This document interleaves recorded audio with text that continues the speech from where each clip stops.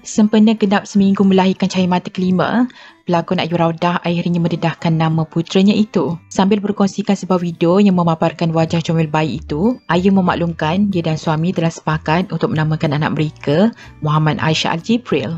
Jelas Ayu, dia berasa amat bersyukur kerana bayi seberat 1.94 kg itu telah dilahirkan dengan sempurna tanpa sebarang komplikasi.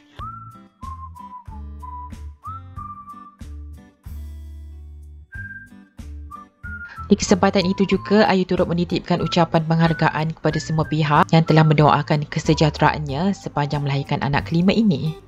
Meninjau di ruangan komen pula, rata-rata peminat dan rakan artis turut tumpang gembira selain turut mendoakan semoga bayinya itu membesar menjadi anak yang soleh.